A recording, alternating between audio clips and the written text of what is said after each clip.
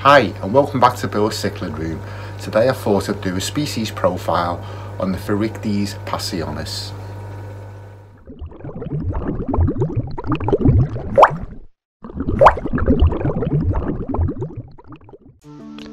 The genus Thorichthys currently contains nine different species that are split into two groups, the Meeki group and the Helleri group.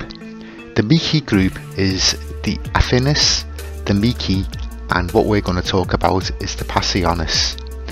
The other group is the Helleri group which is the Aureus, the Maculipinnis which is also the, uh, the Ellioti, the Helleri, the Callolepis, the Socolofi and the recently described Panchovillai that was described in 2017. The Thorichthys pasionis was described by Rivas in 1962 and was first introduced into the hobby in 1985. They come from Central America in Guatemala and the type species is from the Rio de la Pasión, which is where they get the name from. The genus Thorichthys actually comes from Greek and it means leaping fish. Although in my experience I've never seen or heard of any of them leaping and I can only assume it must have been hungry isolated fish in a small pond that were observed by Meek when he named the species. The males of the Pasionis reach 6.5 to 7 inches in size with the females a little bit smaller.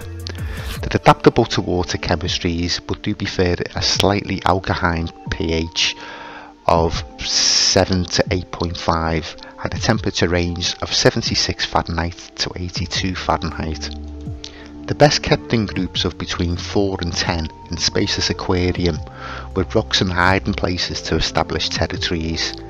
They also prefer dither fish to stop them from hiding. In the natural habitat there's a lot of live bearing uh, fish that can be used as dither fish.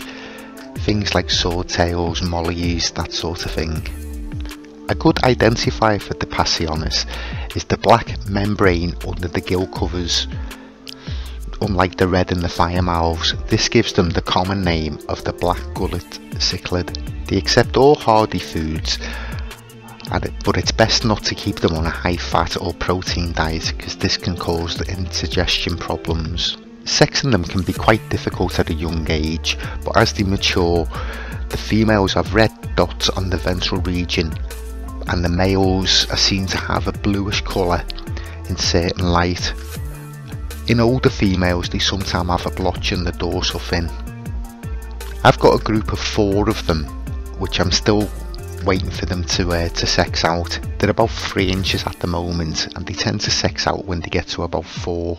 Although they're not as common in the hobby as the firemouth cichlid, I still find them really really interesting with the subdued uh, coloration. Uh, the behaviour of them is very similar to the firemouth. I'm hoping that these ones will pair off and breed because they are quite rare in the hobby. In fact, these are the only ones that I've seen in many, many years.